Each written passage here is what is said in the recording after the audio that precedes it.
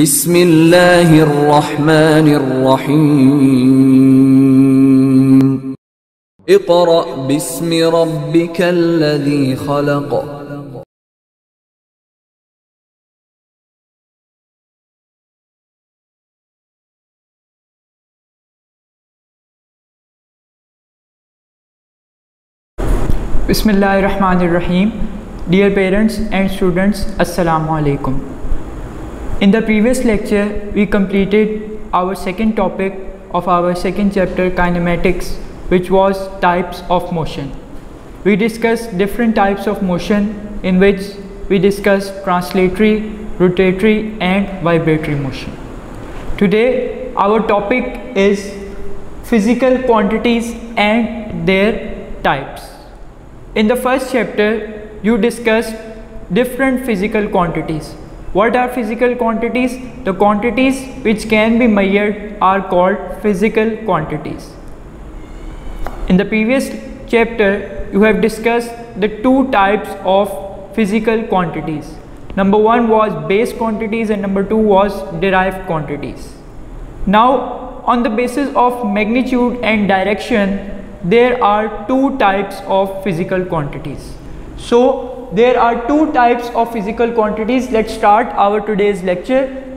Number one is physical quantities. As I explained, as I told you earlier, what are physical quantities? The quantities which can be measured are called physical quantities. Like length, you can measure the length of an object with the help of a scale or a meter rule just like you can measure the mass of any object with the mass balance or the lever balance.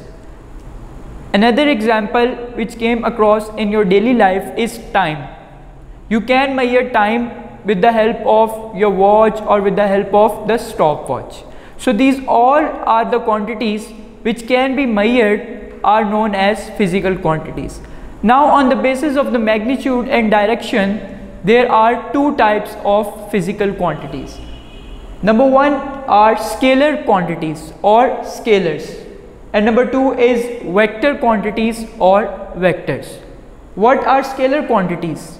Now let's see the definition of scalar quantities page number 33 first pink box. A scalar quantity is described completely by its magnitude only. Scalar quantities क्या है हमारे पास ऐसी quantities जिनकी सिर्फ़ हम उनको उनके magnitude से डिस्क्राइब कर सकते हैं।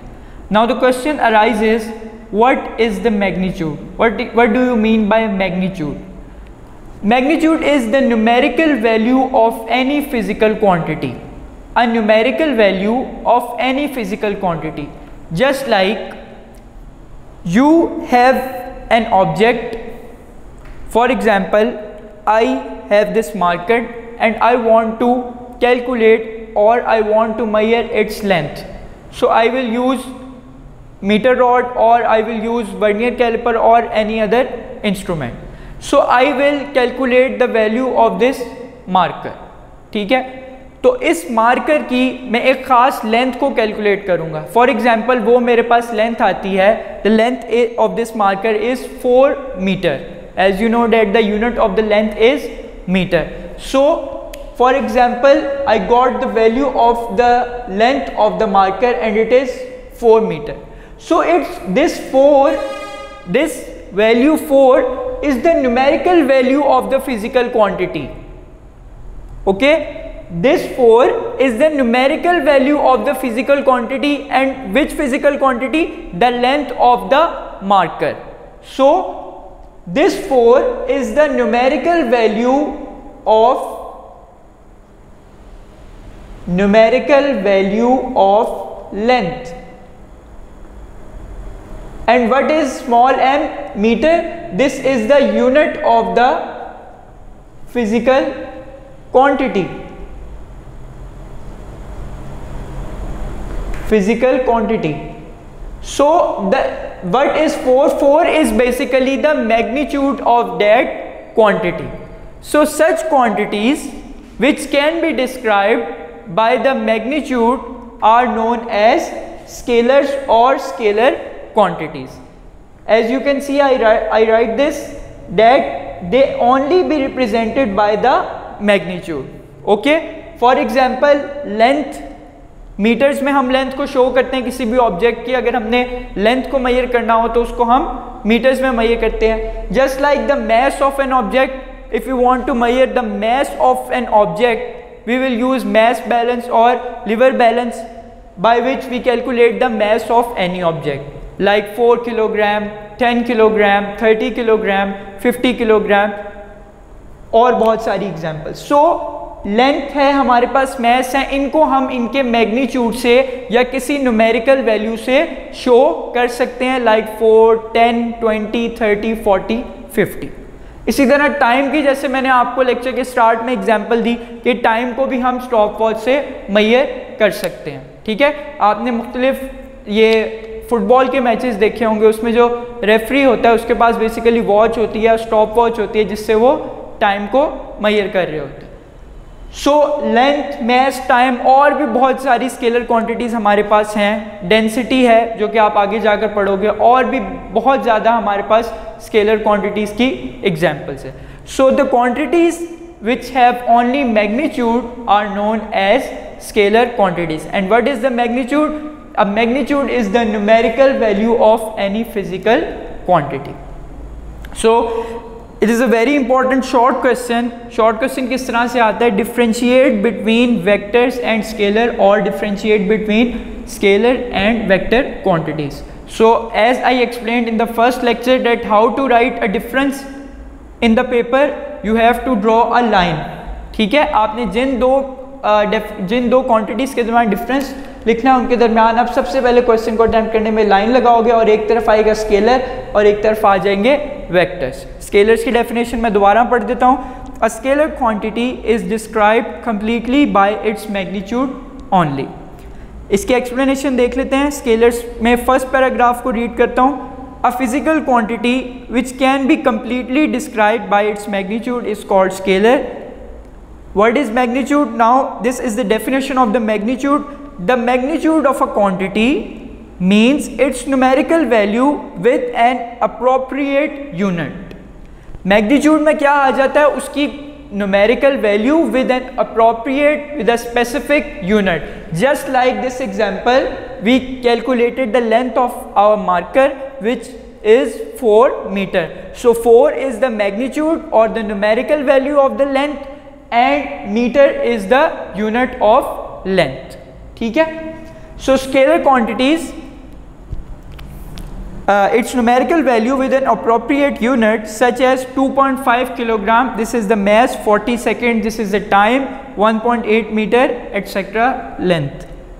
Examples of scalars are mass length time speed volume volume भी, लेंथ से ही बेसिकली वॉल्यूम जो है आपके पास, वो क्वांटिटी कौन सी क्वांटिटी है? डिराइव क्वांटिटी है, जो कि आपके पास लेंथ से निकली हुई है। So volume is also the scalar quantity work and energy ये आप इनके बारे में brief chap you will discuss work and energy in chapter number six so work and energy are also scalar quantities now let's move towards the second type, which is vector quantities.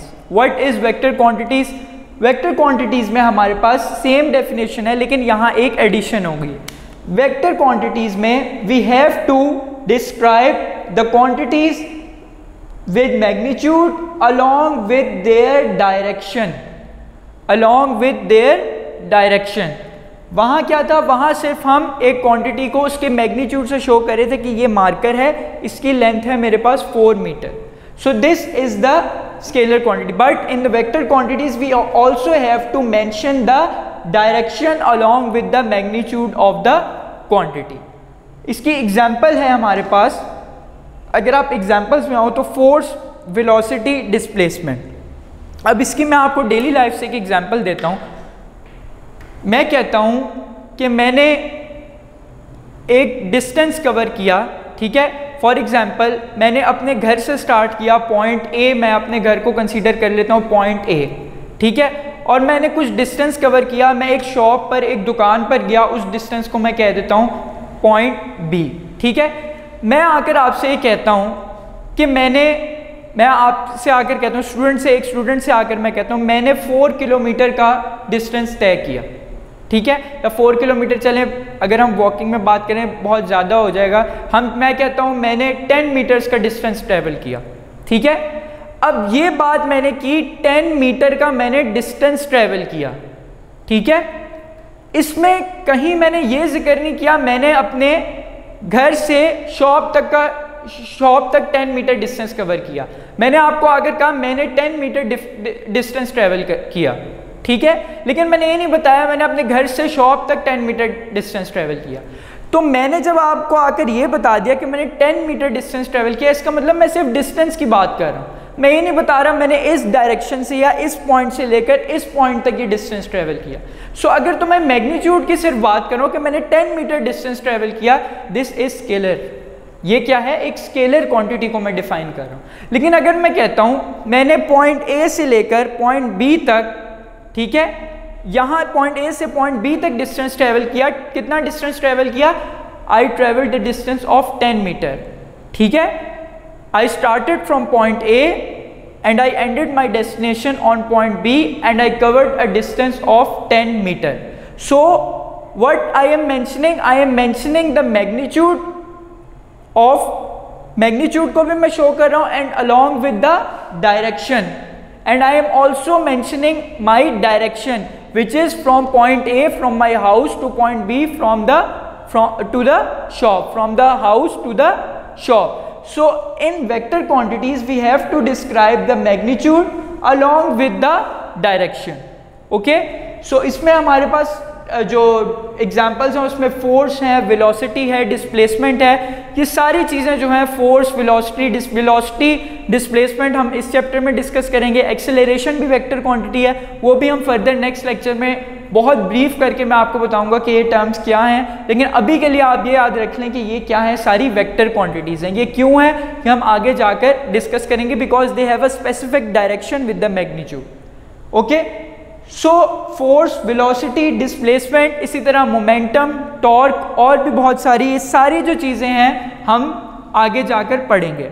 अच्छा मैं थोड़ा सा आपको पहले ही brief कर दूँ, जो chapter number four है आपका, अगर आप कंटेंट्स ओपन करें, जो बिल्कुल पहला पेज है आपका यूनिट वन से लेफ़्ट साइड पर जो पेज है, अगर वो ओपन करें तो यूनिट नंबर फोर है turning effect of forces basically इस चैप्टर में हमने वेक्टर्स को ही वेक्टर्स को ही स्टडी करना है। और उन वेक्टर में से भी हमने एक स्पेसिफिक वेक्टर को डिस्कस करेंगे, जो कि क्या है हमारे पास? फोर्स उसमें हम ये भी देखेंगे कि हम वेक्टर्स को ऐड कैसे करते हैं।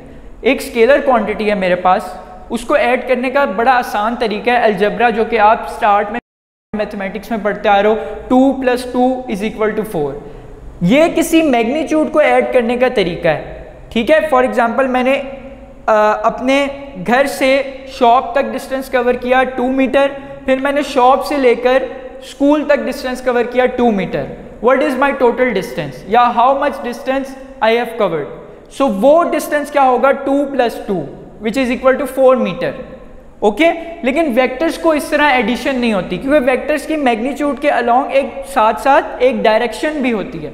सो so, उस डायरेक्शन को और इस मैग्नीट्यूड को ऐड हम एल्जेब्रिक मेथड से लाइक टू प्लस टू से नहीं कर सकते। We have to use another method which is head to tail rule which will we discuss the head to tail rule head to tail rule method in the fourth chapter okay so coming back towards page number thirty three our topic of discussion is scalars and vectors इसको आप read कर लेते हैं। सबसे पहले definition a vector quantity is describe completely by its magnitude and direction इसकी explanation को देख लेते हैं। A vector can be describe completely by its magnitude along with its direction examples of vectors are velocity displacement force momentum taught etcetera ये सारी चीज़ें हमने आगे जाकर इनकी डेफिनेशंस को स्टडी करना है।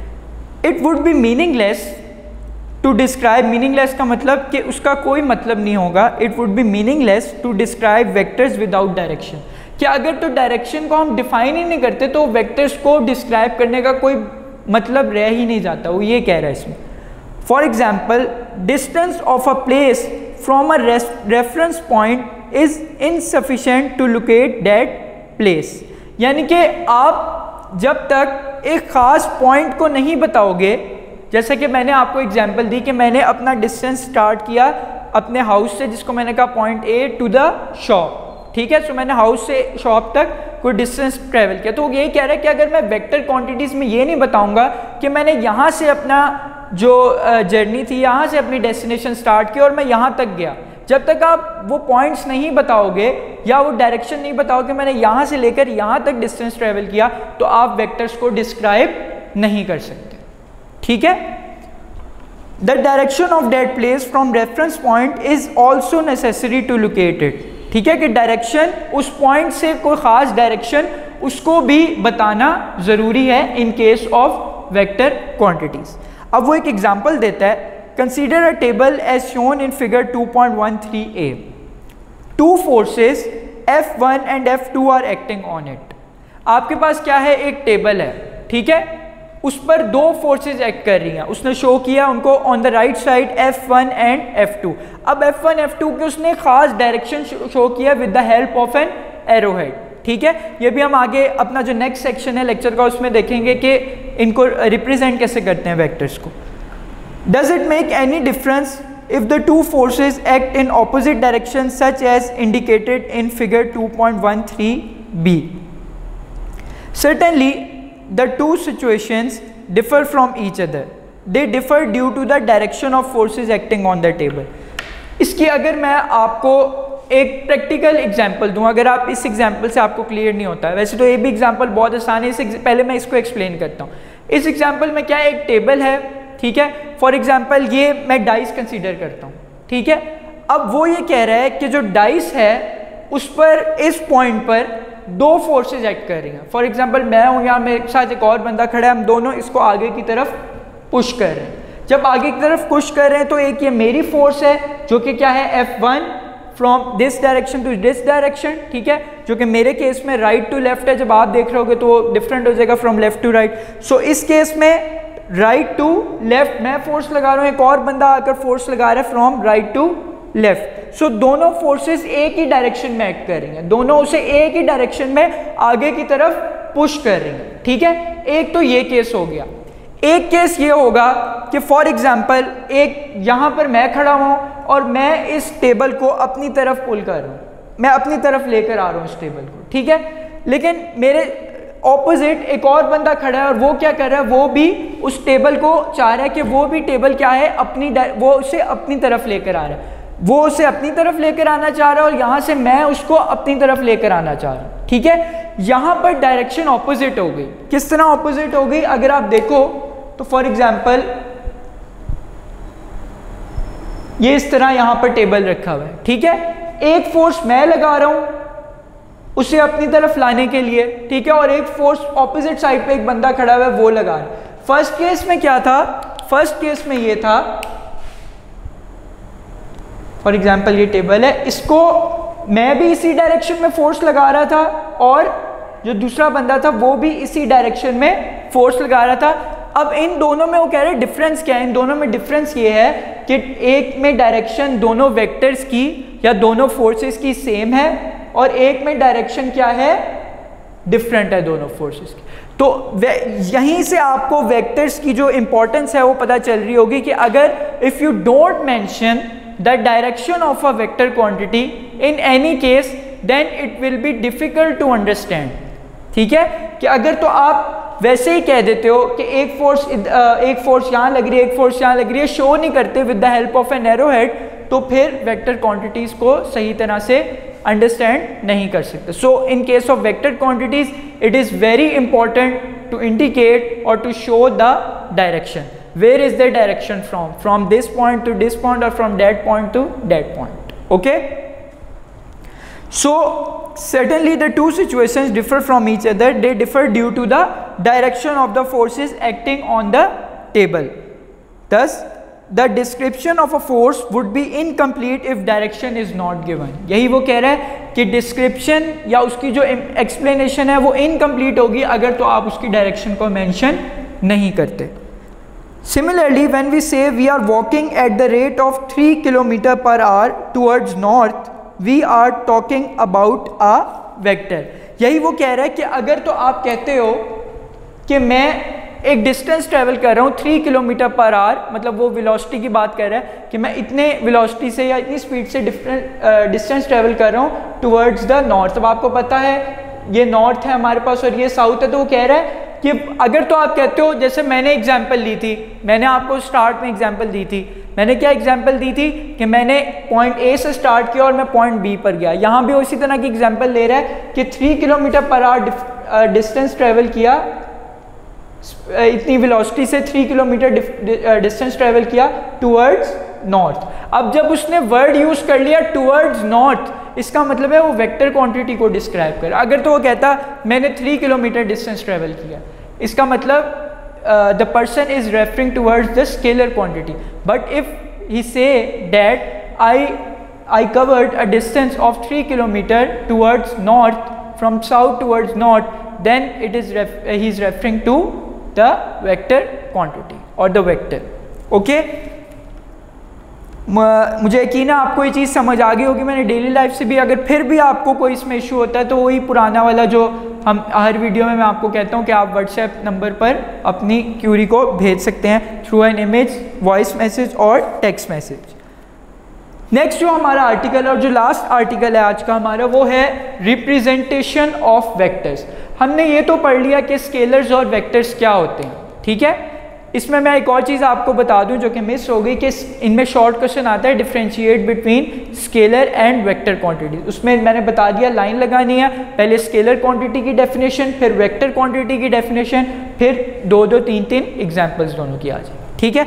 सो so, हमने ये डिस्कस कर लिया। We have discuss that what are scalar and vector quantities and we have also discuss that to represent vector quantities we have to mention और we have to show the direction So the question arises here that how to show or how to represent the vector quantities. Generally we have two methods to represent the vector quantities. Number one method is symbolic method and number two method is graphical method. Symbolic method is very easy symbolic method में simple बड़ी आसान सी चीज़ है क्या करना है जब आप कोई वेक्टर लिखोगे कहीं भी आप कुछ लिख रहे हो या कोई क्वेश्चन में हो या कोई भी डेरिवेशन सॉल्व कर रहे हो तो आप वेक्टर क्वांटिटी को किस तरह लिखोगे? सिंबॉलिकली दो तरीके हैं वेक्टर क्वांटिटी को लिखने के लिए। एक तरीका ये है फॉर एग्जांपल मैं लिखता हूँ कि जी, कोई फोर्स है। फोर्स है, उसको मैंने शो किया है एफ़ से। तो एक मेथड ये है कि मैं इस एफ़ को लिखूँ, ठीक है, और इसको बोल्ड कर दूँ, ठीक है, थोड़ा सा थिक करके लिख दूँ। फॉर एग्ज़ाम्पल एफ़ लिखा, इसको मैं फिल कर दूँ और और बोल्ड कर दूँ इसको। बोल्ड अगर आप में से काफ़ी बच्चों ने माइक्रोसॉफ्ट वर्ड को यूज़ किया हो तो उसमें भी बोल्ड की ऑप्शन होती है। होता क्या है कि स्टार्ट में जब आप लिखते हो टाइप करते हो कीबोर्ड की वजह से तो सिंपल एक ए वर्ड होता है। जब आप उसे बोल्ड कर देते हो तो मज़ीद थिक हो जाता है आपका, ठीक है? सो एक तरीका यह है कि आप बोल्ड कर दो, या एक और तरीका, आप अपने लिखने में आप मार्कर से शो कर दो। मार्कर से पहले वो मोटा होता है तो वो वेक्टर क्वांटिटी को और अच्छा रिप्रेजेंट कर देता है। आप उसे मार्कर से लिख लो या बोल्ड कर दो। लेकिन ये तरीका जनरली ज़्यादा यूज़ नहीं किया जाता। ये तरीका वहाँ यूज़ किया जाता है जहाँ टाइपिंग करनी हो। जहाँ टाइपिंग करनी हो, वहाँ आप माइक्रोसॉफ्ट वर्ड में बोल्ड की ऑप्शन यूज़ करके उस लेटर को बोल्ड कर देते हो, उससे ये रिप्रेजेंट हो जाता है it is a vector quantity but in the writing जब आप लिख रहे होगे तो फिर उसके लिए एक और तरीका है वेक्टर क्वांटिटीज़ को सिम्बॉलिकली रिप्रेजेंट करने का विच इज़ आपने फोर्स को रिप्रेजेंट करना है, आपने फोर्स को लिखा एफ़ लिखा सिंपल अपने इंक पेन से या बॉल पॉइंट से और उसके ऊपर आपने क्या लगा देना है? उसके ऊपर आपने एरो हेड लगा देना है, ऐसे ठीक है? चाहे आप इस तरह कर लो या चाहे आप इस तरह कर लो, बात एक ही है, दोनों मेथड्स यूज़ किए जाते हैं वेक्टर्स को सिंबॉलिकली रिप्रेजेंट करने के लिए। Number one method is to bold the letter and number two method is to put an arrow head over the letter so ये आपका एरो हेड आ जाएगा. So symbolically vectors are represented by a bold letter for example F और an arrow head over the letter easy F second method of the representation of the vectors uh, is graphical method. आपने पिछली classes में हो सकता है graph से मुतलिक चीज़ों को पढ़ा हो. ठीक है? जैसे कि मैंने फ़र्स्ट लेक्चर में भी थोड़ा सा आपको बताया था कि ग्राफ क्या करता है. ग्राफ बेसिकली ये करता है ग्राफ में हमारे पास होते हैं दो एक्सेस एक को हम कहते हैं एक्स एक्सेस और एक को हम कहते हैं वाई एक्सेस ठीक है? इसको अगर मैं आपको यहाँ पर शो कर दूँ तो ये कुछ इस तरह का ग्राफ की रिप्रेजेंटेशन होती है। इसको कहते हैं एक्स एक्सेस और इसको कहते हैं वाई एक्सेस अगर हमने किसी दो क्वांटिटीज़ के दरमियान रिलेशनशिप को डिस्क्राइब करना हो, उसके लिए हम ग्राफ की हेल्प लेते हैं। अब ये किस तरह करते हैं? ग्राफ की हेल्प किस तरह लेते हैं, ग्राफ किस तरह ड्रॉ करते हैं, ये हम नेक्स्ट लेक्चर्स में आकर डिस्कस करेंगे। लेकिन ग्राफिकली वेक्टर्स को जो मेंशन करने का रिप्रेजेंट करने का जो मेथड है, वो ये है कि आप क्या करोगे, आप फॉर एग्जांपल मेरे पास ये एक वेक्टर है जिसे मैंने वी से शो किया। अगर आपको यहाँ विजिबल नहीं है तो मैं यहाँ बना देता हूँ। फॉर एग्ज़ाम्पल ये वेक्टर है, उसने अपना जो स्टार्टिंग पॉइंट है वो है ए ठीक है? उसने डिस्टेंस ट्रेवल किया है ख़ास पॉइंट तक वो है बी अब ग्राफिकली वेक्टर को जो है किस तरह रिप्रेजेंट किया जाता है? ये फॉर एग्जांपल मेरे पास वेक्टर है वी ठीक है? सो so, ग्राफिकली इस तरह रिप्रेजेंट किया जाता है कि एक लाइन सेगमेंट ड्रॉ करते हो आप ठीक है? उस लाइन सेगमेंट की जो ओवरऑल लेंथ होती है फॉर एग्ज़ाम्पल अगर ये आपको नज़र आ रहा हो अगर यहाँ आपको विजिबल हो तो जो उस लाइन सेगमेंट की ओवरऑल लेंथ होती है वो किस चीज़ को शो करती है, वो शो करती है उसके मैग्नीट्यूड को। क्योंकि आपको पता है वेक्टर क्वांटिटी में दो चीज़ें हैं। एक है मैग्नीट्यूड एंड एक एक है हमारे पास direction so the length of the line segment which is shown here which is A B the length of the line segment A B shows the magnitude of the vector and what shows the direction the direction the direction of the line from A to B shows the direction of the vector V इसकी इसी तरह example ले लो, आपने यहाँ से distance travel करना शुरू किया, ये आपका घर है और आप स्कूल तक आ गए बी ये आपका स्कूल है और आपने A to B distance travel किया। So the direction of the इस लाइन की जो डायरेक्शन है, जो कि कहाँ से है? पॉइंट ए से पॉइंट बी अब ये हमें किस तरह पता चल रहा है? पॉइंट ए से point B with the help of an arrow head अगर एरो मैं यहाँ लगा देता तो ये हो जाता फ्रॉम बी टू ए लेकिन अभी यहाँ एरो इस तरफ़ नहीं है टूवर्ड्स बी है तो इसका मतलब है डिस्टेंस कहाँ से ट्रेवल हो रहा है? पॉइंट ए से point B so graphical method में क्या होता है? ग्राफिकल मेथड में हम वेक्टर्स को किस तरह रिप्रेजेंट करते हैं? हम एक लाइन सेगमेंट ड्रॉ करते हैं। वो जो लाइन सेगमेंट की लेंथ होती है, वो शो करती है उस वेक्टर के मैग्नीट्यूड को। और जो उसकी डायरेक्शन होती है from one point to another point with the help of an arrow head वो उसकी किस चीज़ को शो करती है? उसकी डायरेक्शन को शो करती इसको देख लेते हैं हम page number 34 representation of vectors to differentiate a vector from a scalar quantity अब हमने स्केलर और वेक्टर को आपस में डिफ्रेंशिएट भी करना है। उसका एक मेथड ये है we generally use bold letters to represent vector quantities जैसे कि मैंने आपको बता दिया such as F A D और बार और arrow over their symbol such as F A D F A D मतलब जो उसके ऊपर उसने एरोहेड को शो किया। Graphically a vector can be represented by a line segment with an arrowhead in figure 2.14 the line A B with arrowhead at B arrowhead किस तरफ़ है? एट बी बी पर है। रिप्रेजेंट्स अ वेक्टर वी अब V यहाँ क्योंकि book में लिखा हुआ है, उसने उसे बोल्ड कर दिया। The length of the line A B gives the magnitude of the vector V on a selected scale यानी कि एक स्केल होता है ग्राफ में जो होते हैं, मुख्तलिफ़ स्केल्स होते हैं। अगर आपने ग्राफ पेपर कभी देखा हो ग्राफ पेपर पर बॉक्सेस बने होते हैं। ठीक है? सो so, हम क्या करते हैं जब ग्राफ ड्रॉ करते हैं उन एक जो बॉक्स होता है या एक बिग बॉक्स जो होता है बेसिकली एक बिग बॉक्स होता है और उसके अंदर छोटे छोटे स्मॉल बॉक्सेस होते हैं ग्राफ पेपर में। हम क्या करते हैं हम जो एक बड़ा बॉक्स होता है उससे एक वैल्यू असाइन कर देते हैं। हम कहते हैं जी एक बड़ा बॉक्स फॉर एग्ज़ाम्पल हम आ, कर रहे हैं हम ग्राफ ड्रॉ कर रहे हैं डिस्टेंस और टाइम के दरमियान। ठीक है? सो so, हम जनरली टाइम को एक्स एक्सेस और डिस्टेंस को हम लेते हैं वाई पे। तो हम जो ग्राफ पेपर पे एक बड़ा बॉक्स होता है ऑन द एक्स एक्सेस उसको हम कह देते हैं वो है टेन सेकेंड्स की पर ठीक है? अगर तो मेरे पास ग्राफ पर दस बिग बॉक्स हैं और एक बिग बॉक्स टेन सेकेंड्स को शो कर रहा है अगर मेरे पास एक ग्राफ पेपर है उस पर टेन बिग बॉक्स हैं। ठीक है? और एक बिग बॉक्स 10 सेकेंड्स को मैग्नीट्यूड को शो कर रहा है। तो जो 10 बिग बॉक्स हैं वो कितने में डिवाइड हो जाएँगे? 10, 20, 30, 40, 50, 60, 70, 80, 90, 100 इसी तरह वो 10 से लेकर 100 तक डिवाइड हो जाएँगे। इस तरह हम उसको करते हैं। खैर ये हम आगे जाकर बहुत डिटेल से डिस्कस करेंगे। सो so, उसमें क्या करते हैं हम? Line A B gives the magnitude of the vector V on a selected scale while ये होता है स्केल जिसे हम शो करते हैं कि एक बिग बॉक्स 10 सेकेंड्स के इक्वल है, इसे स्केल कहते हैं। While the direction of the line from A to B gives the direction of the vector V कि यहाँ क्या हो रहा है? जो लाइन ए बी से डायरेक्शन की डायरेक्शन है फ्रॉम ए टू बी वो किस चीज़ को शो कर रहा है? वेक्टर वी की डायरेक्शन को शो कर अब हम इस चीज़ को समझने के लिए एक एग्ज़ाम्पल डिस्कस कर लेते हैं एग्ज़ाम्पल 2.1 इस चैप्टर की जितनी भी एग्जाम्पल्स होंगी, वो मैं आपको बोर्ड पर सॉल्व करवाऊँगा, क्योंकि वो अभी आप बिगनर हो एग्ज़ाम्पल सॉल्व करने में तो फ़र्स्ट में, इस चैप्टर में मैं आपको फ़र्स्ट चैप्टर में इतनी ज़्यादा न्यूमेरिकल्स नहीं थे, लेकिन इस चैप्टर में न्यूमेरिकल्स इंपॉर्टेंट भी हैं और थोड़े डिफ़िकल्ट भी हैं अंडरस्टैंडिंग तो इसलिए वो मैं आपको न्यूमेरिकल्स और एग्जाम्पल्स यहाँ पर solve करवाऊँगा. Example 2.1 represent a force of 80 newton acting towards north of east वो कह रहा है कि आपने एक फोर्स है 80 न्यूटन की, जो एक्ट कर रही है टूवर्ड्स नॉर्थ ऑफ़ ईस्ट अब नॉर्थ ऑफ़ ईस्ट क्या है? इसको समझने के लिए मैं यहाँ आपको बोर्ड पे बताता हूँ, इसको हम रेस कर लेते हैं।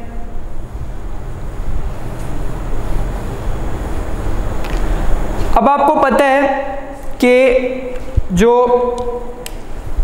ये आपका होता है नॉर्थ साइड ये होता है आपका साउथ ठीक है?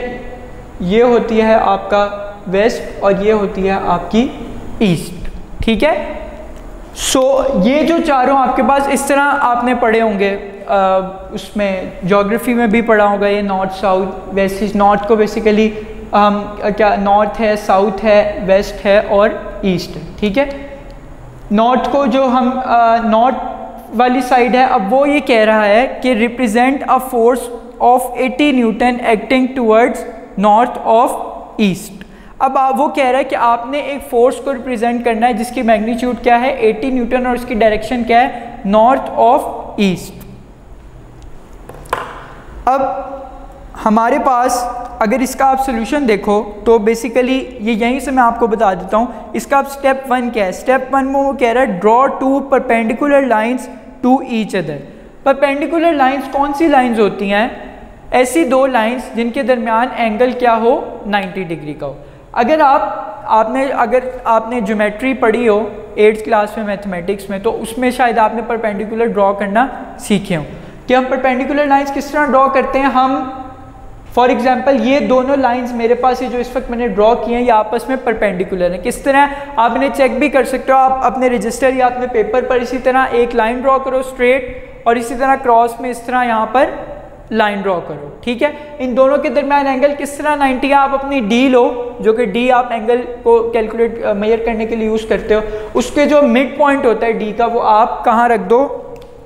वो आप यहाँ पर रख दो। मैं यहाँ ड्रॉ करके दिखा देता हूँ। फॉर एग्ज़ाम्पल ये डी है मेरे पास, ठीक है? उसका जो मिड पॉइंट होता है, वो आप यहाँ पर रख दो, ठीक है? जब यहाँ पर रखोगे, आपको पता है यहाँ ज़ीरो होता है, यहाँ थर्टी फोर्टी फाइव सिक्सटी और ये पॉइंट होता है नाइन्टी इस तरह फिर आगे चलते चलते एंड पर आ जाता है वन एटी ठीक है? सो so, अगर आप पॉइंट यहाँ पर रखोगे तो यहाँ आपके पास क्या बनेगा? एक पॉइंट बनेगा ठीक है? इसको अगर मैं आपको और अच्छी तरह बताऊँ तो इसको आप इस तरह समझ लो कि इस वक्त आपने ये एक हॉरिजॉन्टल लाइन ड्रॉ की है। अगर इस हॉरिजॉन्टल लाइन पर आपने एक परपेंडिकुलर ड्रॉ करना है तो आप क्या करोगे? इसका जो मिड पॉइंट होगा फॉर एग्ज़ाम्पल इसकी लेंथ मैं कंसीडर करता हूँ फोर मीटर है। तो इसका मिड पॉइंट क्या होगा? टू मीटर आप टू मीटर पे डी का मिड पॉइंट रखोगे, जहाँ पर डी पे 90 आएगा, वहाँ पर आप क्या करोगे? एक पॉइंट लगाओगे। वो पॉइंट लगाने के बाद डी को साइड पे करोगे और इसी तरह यहाँ एक स्ट्रेट लाइन नीचे की तरफ़ ले जाओगे तो यहाँ इस लाइन पर या इस पॉइंट पर एक परपेंडिकुलर ड्रॉ हो जाएगा आपके। ठीक है? अब वो क्या कह रहा है? वो ये कह रहा है कि आपने क्या करना है? आपने सबसे पहले दो परपेंडिकुलर लाइंस को ड्रॉ कर लेना है। Horizontal line represent east west ठीक है? ईस्ट वेस्ट मींस मशरक से मगरब। And vertical line represents north south direction as shown in figure 2.15 कि ये वाली लाइन जो हॉरिजॉन्टल लाइन है, वो west east west sorry west east को शो करेगी, ठीक है? और एक लाइन शो करेगी, जो वर्टिकल लाइन जो कि परपेंडिकुलर ड्रॉ की है, वो किसको शो करेगी? नॉर्थ से साउथ को, ठीक है? सो स्टेप नंबर टू अब क्या है? Select a suitable scale to represent the given vector in this case we may take a scale which represents 20 newton by a one centimetre line अब वो ये कह रहा है कि हम एक स्केल को ना स्केल को हम एक कंसीडर कर लेते हैं, ठीक है? कि हमारे पास हम एक स्केल मतलब डेवलप कर लेते हैं। अब वो स्केल क्या वो डेवलप कर रहा है? उस केस में in this case we may take a scalar scale which represents 20 newton by a one centimetre line कि अगर मैं कोई वन सेंटीमीटर की लाइन को ड्रॉ करता हूँ, ठीक है? वो वन सेंटीमीटर की लाइन मैं कहता हूँ, वो वन सेंटीमीटर की लाइन शो करेगी कितनी फोर्स को? 20 न्यूटन की फोर्स को। ठीक है? मतलब अगर मैं, अब वो उसने हमें क्वेश्चन में क्या कहा? उसने हमें क्वेश्चन में कहा, आपने नॉर्थ ईस्ट साइड पर फोर्स की डायरेक्शन को शो करना है। अब अगर आप इसको गौर से देखो, ये इस पूरे एरिया को तो ये जो साइड है, मैं इस साइड की बात करता हूँ पहले। ये अगर साइड आप देखो तो ये वेस्ट साउथ साइड है, ठीक है? ये जो एरिया है, ये वेस्ट ये किसके दरमियान आ रहा है? वेस्ट एरिया और साउथ रीजन के दरमियान आ रहा है। ये वाला जो एरिया है, ये किसके दरमियान आ रहा है? ये आ रहा है साउथ और ईस्ट के दरमियान। ये किसके दरमियान आ रहा है? साउथ और ईस्ट के दरमियान। ये वाला जो एरिया है हमारे पास, ये आ रहा है नॉर्थ से ईस्ट के दरमियान। यानी कि इनमें दो रीजन है, एक नॉर्थ है, एक ईस्ट है। इसी तरह ये आ रहा है नॉर्थ से वेस्ट के दरमियान, ठीक है? उसने हमें कहाँ कहा है? उसने हमें कहा है, आपने जो वेक्टर की डायरेक्शन शो करनी है, वो नॉर्थ ईस्ट पे शो करनी है। यानी कि हमारी डायरेक्शन इस रीजन में शो होगी। इसको मैं दोबारा करके बना देता हूँ, ताकि आपको और अच्छी तरह समझ आ जाए। उसने हमें कहा है कि हमने जो फोर्स है, ये मेरे पास नॉर्थ है, ये साउथ है, ये वेस्ट है और ये ईस्ट है। उसने कहा है, आपने फोर्स शो करनी है नॉर्थ ईस्ट रीजन में। अब नॉर्थ ईस्ट रीजन में शो करने के लिए मुझे यहाँ से स्टार्ट करना पड़ेगा और आगे तक मैं फोर्स को लेकर जाऊँगा। अब फोर्स की मैग्नीट्यूड को मैं किस तरह डिसाइड करूँगा? फोर्स की मैग्नीट्यूड मैं डिसाइड कर रहा हूँ, मेरे पास स्केल में सेंटीमीटर्स गिवन होते हैं। ठीक है? मैं ये कह रहा हूँ कि मेरा जो स्केल में वन सेंटीमीटर होगा, या जो मैंने आपको पहले समझाया था कि एक बिग बॉक्स होता है ग्राफ में, उस बिग बॉक्स को हम कोई ख़ास वैल्यू असाइन कर देते हैं। ठीक है? जैसे मैंने वहाँ टेन सेकेंड्स उसको असाइन की थी वैल्यू ठीक है? इसी तरह यहाँ मैं एक सेंटीमीटर जो कि मेरे स्केल पर होता है उसे मैं कह रहा हूँ वो 20 न्यूटन के इक्वल है। हमें कितनी फोर्स रिक्वायर्ड है? एटी न्यूटन ठीक है? हमें फोर्स कितनी रिक्वायर है? 80 न्यूटन तो अगर जैसा कि आपने यूनिटी मेथड पढ़ा होगा पिछली क्लासेस में, अगर मुझे एक सेंटीमीटर मेरा 20 न्यूटन के इक्वल है। अगर मैंने एक न्यूटन फोर्स के लिए निकालना हो तो मैं वन को किस पे डिवाइड कर दूँगा? 20 पे। यानी कि वन बाई ट्वेंटी सेंटीमीटर मेरा जो स्केल होगा, ठीक है? वन बाई ट्वेंटी को जब आप डिवाइड करोगे, जो आंसर आएगा, वो शो करेगा किस फोर्स को? वन न्यूटन को। अब मुझे क्या रिक्वायर है? मुझे रिक्वायर है 80 न्यूटन की फोर्स ठीक है? अगर मुझे 80 न्यूटन की फोर्स रिक्वायर्ड है तो मैं यहाँ दोनों साइड्स पर 80 से क्या कर दूँगा? मल्टीप्लाई कर दूँगा। ये बेसिकली यूनिट यूनिटी मेथड है। ये इस तरह भी आप समझ सकते हो या इस तरह भी समझ सकते हो कि अगर एक सेंटीमीटर के लिए 20 न्यूटन रिक्वायर है तो हमारे पास 80 के लिए क्या होगा? 80 अब आपको पता है ट्वेंटी फोर एटी ठीक है? तो उसको हमें 80 बनाने के लिए इस साइड को 80 बनाने के लिए दोनों साइड्स को किससे डिवाइड करना मल्टीप्लाई करना पड़ेगा? 4 से। आप इसे इस तरह भी समझ सकते हो या यूनिटी मेथड से भी। यूनिटी मेथड क्या होता है? कि हम एक यूनिट बना लेते हैं। जो हमें वैल्यू रिक्वायर होती है ना, इस केस में हमें फोर्स रिक्वायर है। तो उस फोर्स को पहले हम एक यूनिट में कन्वर्ट करेंगे। वन यूनिट में विच इज़ वन न्यूटन ठीक है? So one by twenty one newton के लिए रिक्वायर होगी। अगर 80 न्यूटन आए तो 80 न्यूटन दोनों साइड्स पर क्या हो जाएगा? मल्टीप्लाई हो जाएगा। तो अगर 80 न्यूटन के लिए फोर्स निकालनी हो डिस्टेंस वो सेंटीमीटर में निकालना हो स्केल में तो वो क्या हो जाएगा? 21 वन ज़ार ट्वेंटी ट्वेंटी फोर ज़ार एटी तो वो फोर सेंटीमीटर हो जाएगा। इसका मतलब मुझे अपने स्केल पे ज़ीरो से लेकर फोर सेंटीमीटर तक ज़ीरो से लेकर फोर सेंटीमीटर तक लाइन ड्रॉ करनी पड़ेगी। फिर मैं पहुंचूँगा किस पर? अपनी फोर्स पर विच इज़ 80 न्यूटन। इसको दोबारा से मैं समझाता हूँ। मैंने क्या किया? मैंने एक स्केल डेवलप कर ली। मैंने आपको बताया था ग्राफ में हमें स्केल डेवलप करने होते हैं। वो स्केल क्या था? कि मैं कह रहा था, मेरा जो स्केल है, ठीक है? उसमें अगर यहाँ पर इस वक्त मेरे पास जो है वो मीटर रॉड प्रेजेंट है, ठीक है? इसमें बेसिकली आपके पास इंचेस में और सेंटीमीटर्स में आपका जो स्केल होता है जो कि आप जनरली यूज़ करते हो, उसमें सेंटीमीटर्स में गिवन होती है और इंचेस में। उसमें आप क्या करोगे, आप कहोगे एक सेंटीमीटर है इक्वल ट्वेंटी न्यूटन के।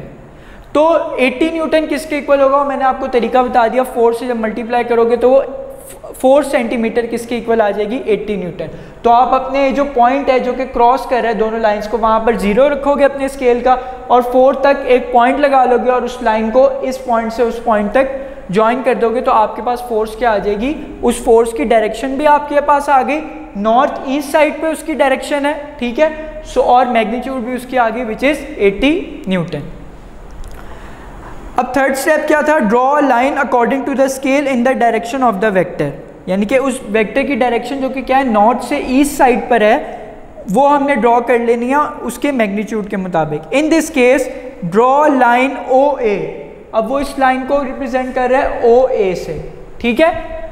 Draw line O A of length four centimetre along north east side north east side पे चाहिए थी तो इसलिए हमने उस तरफ़ ड्रॉ किया फ्रॉम नॉर्थ टू ईस्ट ठीक है? Step four put an arrow head at the end of a line arrow head अगर नहीं ड्रॉ करोगे तो क्वेश्चन कंप्लीट नहीं होगा। अगर आप एरो हेड ही नहीं ड्रॉ करते तो उसे कैसे पता चलेगा, वो ओ से ए है या ए से ओ है? ठीक है? जस्ट लाइक यहाँ जैसे हमने शो किया था ए से बी है। तो यहाँ भी हमें ए पर एरो हेड लगाना पड़ेगा जो कि ये शो करेगा। फोर्स की जो डायरेक्शन है वो कहाँ से है? From point O to point A ठीक है? Put an arrowhead at the end of the line. In this case, arrowhead is at point A. Thus, the line OA will represent a vector. वो एक vector को represent करिए that is क्या है वो? The force of 80 newton acting towards north east side एक force है जो कि एक्ट कर रही है नॉर्थ ईस्ट साइड से, जिसकी मैग्नीट्यूड क्या है? आपके पास 80 न्यूटन है। मैं उम्मीद करता हूँ आपको ये समझ आ गई एग्ज़ाम्पल ग्राफ से मुतलिक आपने परेशान नहीं होना। अगर आपको स्केल वाली चीज़ समझ नहीं आए ये हम आगे जाकर ग्राफ का जब टॉपिक आएगा, ये मैं बता भी देता हूँ आपको। पेज नंबर 40 पर अगर आप आओ page number 40 graphical analysis of motion जब हम ये करेंगे तो मैं बहुत अच्छी तरह आपको डिस्कस ये आप हम डिस्कस करेंगे। मैं ग्राफ पेपर भी अगर पॉसिबल हुआ तो मैं यहाँ ला आपको ग्राफ पेपर भी दिखा दूँगा कि उसमें किस तरह से आपके पास बॉक्सेस बने होते हैं। ठीक है? सो so, आज के लिए हमारा लेक्चर इतना ही। We have discuss scalar and vector quantities and we have discuss how to represent vector quantities I hope you will understand this lecture आज के लिए हमारा लेक्चर इतना ही। थैंक यू सो मच अल्लाह हाफिज़